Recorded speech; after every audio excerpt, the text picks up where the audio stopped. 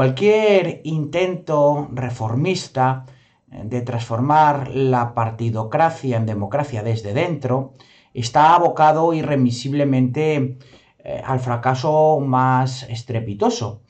Toda medida destinada para ello, para construir la partido o para transformar la partidocracia española en una eh, democracia representativa, es incompatible en sí misma y por su propia naturaleza con la democracia formal.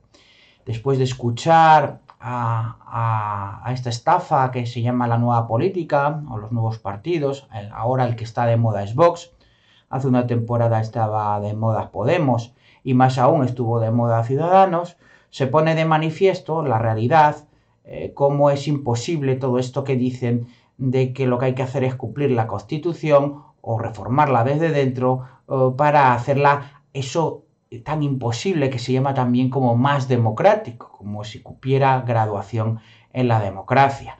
O existe democracia formal o no existe, o existen reglas de juego democráticas o no existen reglas de juego eh, democráticas. Y es que, ¿qué es lo que hace una constitución? Una constitución lo que hace es convertir la potencia estatal monolítica en poderes, facultades y potestades separados en origen, de tal manera que se encauce esa potencia y se controlen uno y se vigilen uno de los poderes eh, estatales a los otros. Si a esa separación originaria añadimos la representación, tenemos como resultado la democracia formal, la democracia representativa, como marco efectivo y hábil para el ejercicio de la libertad política así consagrada. Dicho esto, el anhelo democrático dentro del actual sistema normativo e institucional que diseña el texto de 1978 es absolutamente inalcanzable al, contradecir eh, sus normas de manera absolutamente directa cualquier intento que así lo pretenda.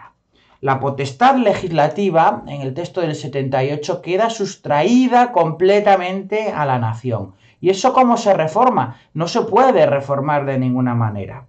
Eh, de hecho, lo que hace el texto de 78 es entregar esa potestad legislativa eh, a los partidos políticos exclusivamente y concretamente a los jefes de los partidos políticos, elevando eh, esa potestad a rango constitucional en el artículo 68 3, que basa el criterio de elección del diputado en el sistema proporcional de listas. Ello es absolutamente incompatible con la democracia representativa. Imposibilita de facto el mandato imperativo entre el elector y el elegido, eh, estableciéndose de facto lo que contradice la propia Constitución, que es la prohibición de ese mismo mandato imperativo respecto de los diputados de partido, apelando a su simple conciencia que no existe, quedado imbuida en la llamada disciplina de grupo.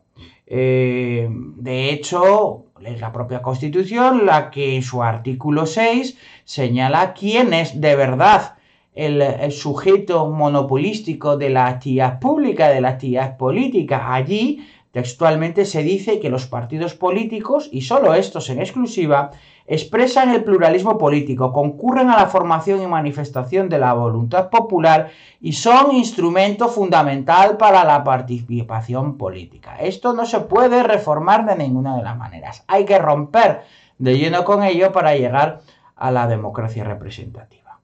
Cualquier intento, por tanto, de reforma de la ley electoral destinado a implantar constructos absolutamente eh, no solo difíciles de llevar a efecto, sino que carecen de, cualquier razonamiento lógico en su implantación, como son los llamados sistemas mixtos, que quiero recordar, Esperanza Aguirre, por ejemplo, en un momento determinado llegó eh, a plantear, serían de hecho directamente inconstitucionales. Cuanto más el sistema de elección uninominal mayoritario y por distrito, que es el único que eh, efectivamente materializa la representación política. Por su parte, el poder ejecutivo, la segunda pata de banco, el segundo de los poderes políticos, poder político del Estado, ya no de la nación, resulta directamente de la confianza mm, de la Cámara a favor del candidato presidencial en ese menú de listas de partido previamente eh, elaborados. Es el partido ganador, el jefe del partido ganador, a través del juego de mayorías y de pactos, mm, que se producen siempre, en todo caso, de espaldas al votante, eh, y que permanece al margen de todo esto, quien vienen a diseñar, como digamos, eh, o, a encumbrar al jefe del Ejecutivo.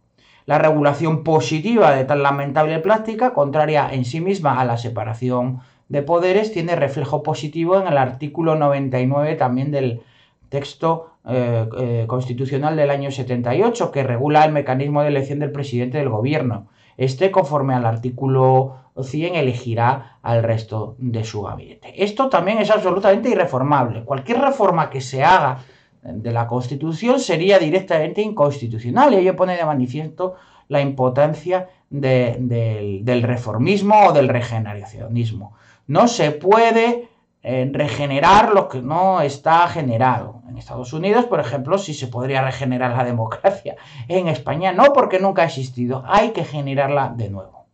¿Y qué decir de la facultad jurisdiccional del Estado, que tan siquiera tiene un reconocimiento institucional expreso en la Constitución. El artículo 117.1, que es en el que comienza a hablar del Poder Judicial, acoge la independencia judicial de jueces y magistrados, pero no la independencia institucional, funcional, presupuestaria u orgánica de la justicia. Es decir, y en suma tan solo viene a describir las virtudes que deben adornar a todo buen juzgador dejando el poder institucional a la clase política en esa unidad eh, de una trina eh, separación de funciones, pero hubo una única constitución de poderes. En definitiva, no existe constitución porque no separa, eh, el texto del 78 no separa los poderes del Estado. Por tanto, cualquier intento de instaurar la democracia en España o una democracia en España es absolutamente incompatible con la Constitución del 78. No cabe regenerar nada, insisto, porque primero hay que generarlo. No cabe reformar una democracia para una, una partidocracia para llevar una partidocracia porque sus propias reglas constitutivas básicas así lo impiden.